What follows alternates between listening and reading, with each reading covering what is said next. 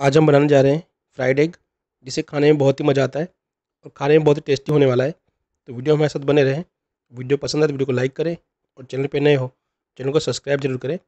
इसे बनाना इतना ईजी होता है कि आप इसे दस मिनट के अंदर रेडी कर सकते हैं। तो चलिए फिर वीडियो को शुरू करते हैं और देखते हैं क्या है रेसिपी तो सबसे पहले हमने जो हमारे एग थे, उनको बॉईल कर लिया है। बॉईल करने के लिए आपको दस मिनट से ज़्यादा ज़रूरत नहीं है। बॉईल करने के बाद इसे छील लें। उसके बाद अब जो धागा होता है, उससे इसे काटें। तो जो इसकी फिनिशिंग है, बहुत ही अच्छी आएगी। या तो आप ना हो, चाकू से भी काट सकते हैं, लेकिन चाकू की जो धार होती है, वो तेज़ होनी चाहिए। तो अब हमने लिया पैन, उसके अंदर डाल रहे हैं हम बटर। आप चाहें तो ऑयल में अथवा तो घी में भी इसे फ्राई कर सकते हैं। तो हमने, हमारा जो बटर था, उसे मेल्ट होने दिया। उसके बाद हम एक एक करके हमारी जो एग की पीसेस है, उसमें इसमें ऐड कर रहे हैं। और आपको बहुत ही सावधानी से ऐड करना है ताकि जो येलो पार्ट है, वो बाहर ना आ जाए। तो एक ही करके हम सभी पीसेस को ऐड कर दे रहे हैं और इन्हें अच्छे से फ्राई होने देंगे। आपकी जो फ्लेम होगी, वो लो टू मीडियम रखें तो अच्छे से और धीमे धीमे से फ्राई होने दें। फिर उसके बाद एक साइड के होने के बाद इसे पलट दें। देखिए इस तरह से। अब दूसरी साइड से इसे अच्छे से ब्राउन हो जाने दें। तो ताकि एक क्रिस्पी आ जाए और खाने में बहुत ही मज़ा आए। अब इसे हम निकाल लेते हैं। ये दोनों तरह से जो क्रिस्पी हो चुका है और भुन चुका है। अगर आप चाहें तो इसके साथ ही मसाला ऐड कर दें, लेकिन हम लोग अलग से मसाला बना रहे हैं। जैसे कि स्ट्रीट पे आप देखिए देखते होंगे, उसी तरह से बनाने वाले हैं। तो ऐड कर रहे हैं जीरा। जीरे को थोड़ा सा भुन जान देंगे, उसके बाद ऐड करें प्याज।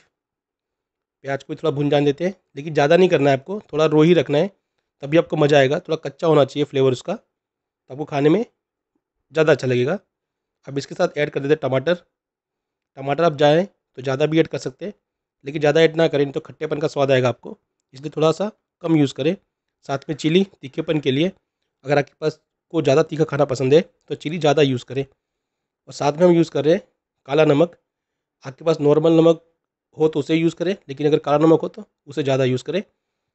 ये हो गया धनिया पाउडर ये आ गया हमारा जीरा पाउडर अब इसके साथ हम यूज़ करने वाले हैं, हमारा जो थोड़ा टेस्ट के लिए गरम मसाला हल्का सा उसके साथ यूज़ करने वाले हैं जो हमारी रेड चिली है, लाल मिर्च पाउडर तीखेपन के लिए। और हमारी जो गैस की फ्लेम होगी, इस टाइम लो रखें, नहीं तो आपके मसाले जल जाएँगे। और आपको ऐसा लगे तो पानी ऐड कर दें। थोड़ा सा धनिया पत्ता, जिसे हमने ऐड कर दिया है, और इस, इसके बाद तुरंत ही आपको एग को ऐड कर देना है, ताकि जो धनिया का फ्लेवर है, वो बना रहे। हमने एग जो ब्राउन किए थे फ्राई किए थे उसको भी ऐड कर देते हैं। अब अच्छे से इसको मिला देते हैं ताकि जो हमारे मसाले की फ्लेवर है, वो एग में आ जाए। देखिए इस प्रकार से। बस रेसिपी रेडी हो गई। बहुत ईजी है। आपको जो टाइम लगेगा, खाली एग को बॉईल करने में लगेगा। उसके बाद कोई टाइम लगने वाला नहीं है। तो इसे घर पे ज़रूर बनाएँ और कमेंट करके बताएँ कैसी बनी। अगर वीडियो अच्छा लगा तो वीडियो को लाइक करें। चैनल पे नए हो, चैनल को सब्सक्राइब ज़रूर करें। और ऐसी रेसिपी हम आपके साथ शेयर करते रहेंगे तो नोटिफिकेशन बेल को भी ऑन कर दें। और ऊपर से थोड़ा डाल दें चाट मसाला। तो आपको फ्लेवर और भी बढ़ जाएगा। चलो तो मिलते हैं अगले वीडियो में। तब तक के लिए धन्यवाद। अपना ख्याल रखें। Take care